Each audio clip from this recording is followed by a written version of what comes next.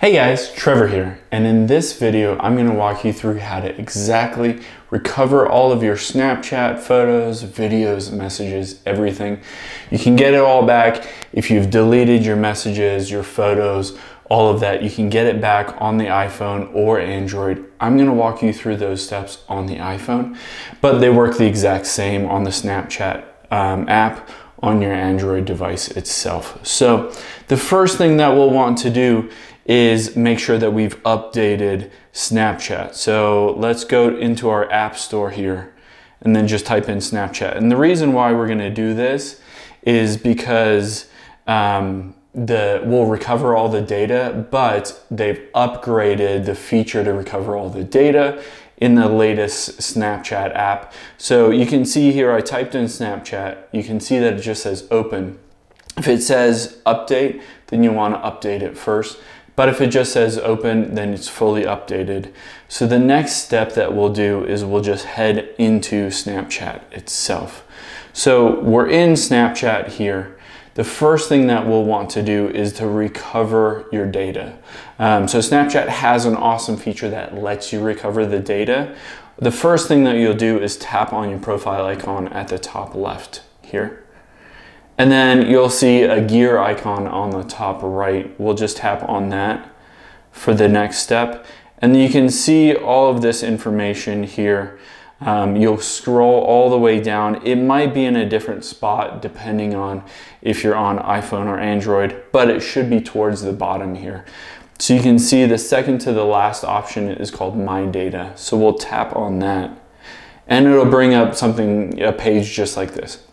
So the next step You'll have to log in. If you don't know your username or password, you'll have to recover that first and then be able to log in to get all your data. But I'll just log in here real quick on my account. Not a robot. I'll do the crosswalk. And then it should let me in to recover all my data. Oh, it looks like I need to enter in the code that I just received. So you might get this little text message code 902-666, 902-666. So you can see that you might have that request that you have to enter in uh, code that was texted to you if you have two-factor authentication turned on. But anyway, so we're in it now and it says my data and it says data available in the app. Your name, your username, your email. Um, you can see towards the bottom there your memories, your permissions. But then it says data available to download. And all of these ones with the check marks are things that you can download. So you'll go down here and you can see Snap History. So your Snap History is something that you can download. Um, your friends, your public profile, your story history if you want to send um, your story history, but you know you've basically deleted it or it's not available anymore. You can download that. Um, you can go down here. You can send you know your memories, your snaps, um, your places, your email history, all that, your search history, all that stuff. So in here you can recover your photos, your videos, and any of your messages that you want. All you have to do is hit that submit request button and then you can see we've, we've received your request and then we're gonna send it to you. So just wait like five or 10 minutes and you'll get an email from Snapchat. It'll walk you through the steps to, uh, to download that data and it'll all be on your phone that you can use. You can send it as a text message or whatever you want. So that's the first step, but keep in mind, this doesn't work for everything. So we'll walk you through two more steps that you might wanna take to be able to recover those, especially those photos and those videos. So the next thing is depending on the features on your iPhone or Android, you might have any of your snaps saved to uh, your photos or your camera gallery.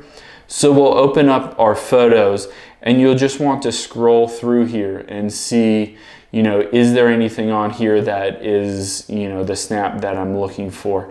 So you can scroll back, you can find the specific date and try to see, is that the snap that I'm looking for? Potentially say it was this video and then I can recover it. I can send it to, you know, my friend's email, text message, whatever. However, so this is the second step. The third step that you'll want to take is to swipe out of here and we'll go back into Snapchat.